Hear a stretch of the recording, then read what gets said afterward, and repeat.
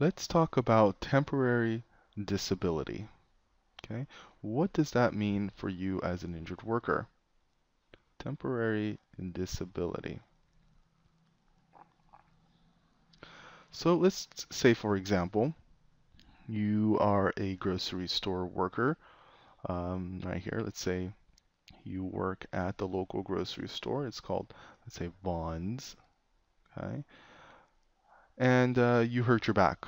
Okay, we'll use that as an example.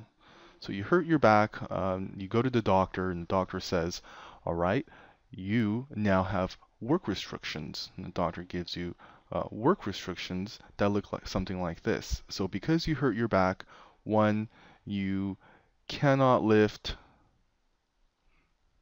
anything over 10 pounds. Okay, you can't lift anything over 10 pounds. Okay. And two, uh, you can't bend or twist at the waist. Okay?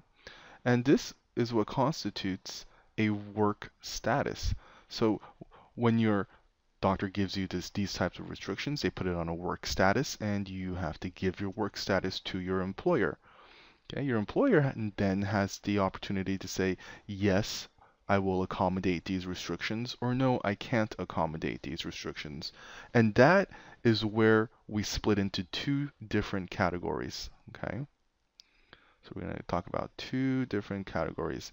There's temporary partial disability.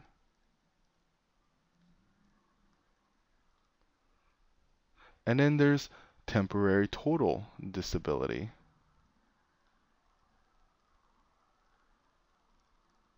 Okay. Now the difference between that is if you are temporarily partially disabled, uh, you're still working, but you are working less hours than you used to, or you're making less money than you used to, okay, because of your injury. Temporary total disability is when you're completely off of work. Um, so let's take this situation for example. We'll have two Vons, okay? We'll have two different managers um, and two different employees that got hurt, right?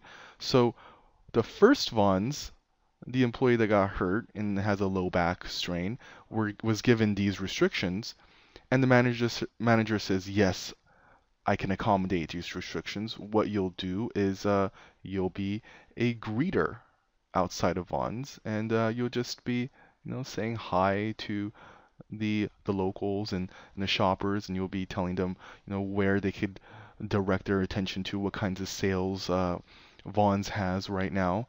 And uh, that's what you'll be doing while you recover from this injury so that uh, you're not lifting anything, you're not bending or twisting, you're just out there saying hi. Um, the problem is, though, that because this is a special type of job, I can only, uh, the manager can only give you 15 hours per week doing this job. And unfortunately, there's nothing else you can do for the remainder 40 hour week you used to work, right? So you used to work 40 hours, okay? But now you're only working 15 hours per week, okay? So the difference between how much you should have made working 40 hours a week and how much you are actually making uh, working only 15 hours a week, that's what we call temporary partial disability. Okay, so you get uh, the remainder. So whatever, let's say you're making uh, $10 per hour, okay, per hour. And uh, now because of this injury, you're you're working 15 hours a week, so you actually lost. So let's say uh, 40 minus 15 gives you 25 hours lost per week, right? So the insurance company will pay you the $10 an hour times the 25 hours you lost this week. Okay? And that gives you $250. All right? But of course, disability benefits are taken at two thirds of that, right? Two thirds of that, okay? So actually, in reality, uh, you're only making, let's say, uh, 500 divided by 3, which translates into $166.67. So this is how much the insurance company will pay you for temporary partial disability. Okay? And that's how much they'll pay you on a weekly basis per week. All right? Let's go over here.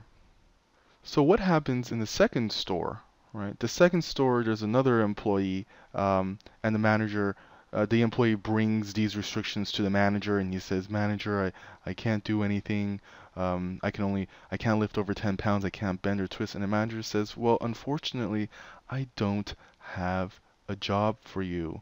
I don't have a job for you." So what happens then? Well, let's take this same situation here, and we'll say that he was uh, working 40 hours a week before.